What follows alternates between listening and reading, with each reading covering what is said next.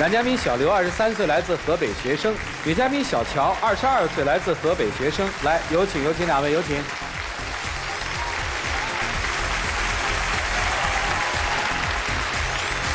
欢迎两位哈，校友是吧？嗯。谁追的谁呀？我追的他。我们就是参加了一个社团嘛，然后看他，嗯，长得挺不错，然后私底下就加了微信，就 追了多久啊？追了两个多月呢，追了两个多月呢。哎呦，现在谈了几年了？谈了一年多了。喜欢这女生吗？喜欢。对人好吗？好。好，为什么她今天要来我们这儿呢？嗯。唉，就是你要来的是吧？是。来的目的是？我感觉我现在特别委屈。诉苦来的。对，我就想让导师们过来治治他。他这个人吧，特别大男子主义，就是在他的思想里，男的就必须得高高在上，女的就得什么都得听他的。嗯，而且脾气吧还特别暴，暴到就能大庭广众之下踹人家三轮车。不是那个什么情况呢？就是有一次他姐来了嘛，他姐就是在一个地方参加婚礼，然后回来的时候就在车站呢给他送手机，还是个下雨天嘛。然后他就说，呃，姐也没吃饭，让我买点东西，买点饭。我就我就去我们食堂给他姐买了饭嘛。他还特意跟我说说，呃，让食堂阿姨把那个菜给热热。你说我又不是不知道，还特意跟我说。你也够较劲的了，这都是细枝末节。然后呢？这然后这事儿就过去了，我就跟他一块儿就走嘛。然后我就跟他说，我说给你姐买点零食吧，因为这一路上时间挺长的，这样吃零食就说也不无聊。他当时没好气儿的就跟我说。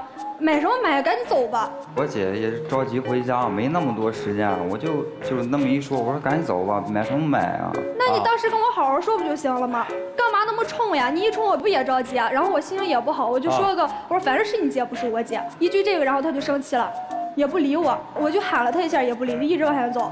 啊，然后呢？然后我就没跟着进车站，就在外边等他。他进去给他姐把饭拿下拿拿下去之后才出来，才发现我没跟着他。出来之后就开始对我发火。发的脾气可大了，出来他手里有把伞嘛，然后开始摔伞，那么多人把伞摔烂了，冲我大声吼，他的脸都贴到这儿了，冲我吼，那么多人，关键这还不解气呢，康一脚踹了人家一脚三轮车，那么多人丢不丢人的踹三轮车，关哎三轮车的主人还是位老爷爷，看人家好欺负还是怎么着呀？那么多汽车，你怎么不踹人汽车去？这女孩说话可以啊，怎么不控制自己的情绪呢？没什么事儿，没多大的事儿啊。我觉得就是，我们两个在外面嘛，你怎么着也得给我点面子啊。你就是我不叫你就乖乖跟我进去不就完了吗？这事不就完了吗？凭什么乖乖跟你进去啊？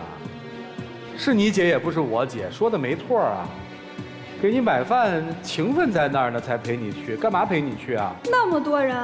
你不嫌丢人，我还嫌丢人呢。行行行行，你你就你也别那个吧，你真嫌丢人，你也不跟他来了，还让老师帮着治治呢。行，你还有什么事儿？关键是他，你要回去之后，我是自己走回去的，我走了一个多小时，趟着水回去的，他自己打车回去的。为啥呀？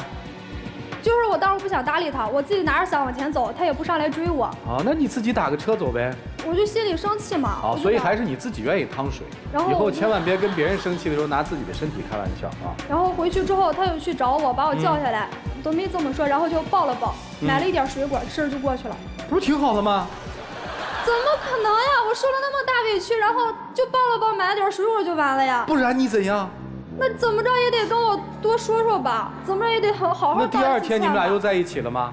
我就不这个事儿我还没原谅他呢。哦，还没原谅呢啊，这叫巅峰事件是吧？还有别的事儿吗？有，我感觉这个人特别大男子主义，就什么都得听他，我不能有自己的爱好，他有他的可以，我不能有我自己的。比如说。就是我在我们学校比较喜欢打排球嘛，平常没事的时候是一周训练两次，嗯，然后正好赶上上个月我们有比赛，好几场的比赛，所以就得天天训练，每次训练很晚，回去之后我也很累呀，回去之后他就跟我吵架，说我不陪他。那你刚开始的时候一周啊就去那么两三次，我当然没什么事儿，但是后来你知道，从早上六点多一直打打打，然后中午吃完饭，然后下午还去打，一直打打到晚上八点多，然后。回去聊两句话，他就睡了，持续了一个月，你知道我受不了。你受不了啥呀？他不理我。我也没有不理他。不是你想咋陪你啊？那起码跟我每天多说句话嘛。那那那那怎么着？他你这样之后他怎么对你呢？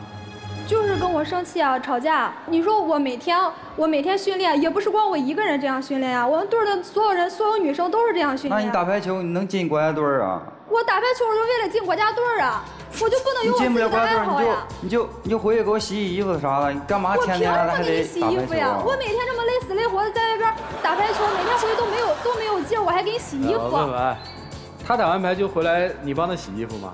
我俩不在一个，啊，就是他回宿舍嘛，对吧？你给人洗衣服吗？不洗。为啥不洗啊？你不是嫌他不理你吗？你就多给他洗洗衣服，他就理你了。哎，真是。还有别的事儿吗？有，还有就是他特别不会哄，就是这个哄字在他脑子里就没有这个概念。啥意思？你看啊，就是有一次我们去出去玩嘛，我跟我朋友玩完之后，当时我包他拿着，回去之后我就发现我的包就是里边的眼霜就是少了好多，我就问他，他说，哦，你这是眼霜呀？我以为是护手霜呢，我就涂了。当时我一听，我特别生气，因为这个眼霜是我省了好长时间钱买的，花了好几百买的，我自己都舍不得用。然后我还没有跟他发特别大的火，他的脾气就上来了，嗓门比我都大。你说你哄哄我不就得了呀？不道歉还说我小气，那我对化妆品也不了解，那你用之前跟我说一我不就用了一点吗？你至于跟我生气吗？你怎么就不问我？我的意思不就是说想让你给我道个歉吗？你哄哄我，摸摸我的头，哄哄我不就行了？从来不哄。在你的思想里，是不是只有你们男生可以发脾气，我不可以发呀？还有就是，你说有一次啊，我拿他就是拿他手机翻嘛，无意间翻出了一张就他跟他前女友的照片儿我心里特别不舒服，然后我就就是那种语气的，然后我说，哎，你前女友真漂亮呀。他你说他又不傻，他肯定能听清我什么意思呀。换做别别的男人，肯定就会说啊，哪有你漂亮，这都过去的事儿，你都不知道他说了一句啥。他说，我现在就喜欢不漂亮的。我跟你开玩笑呢。你开玩笑，你笑了，我哭了。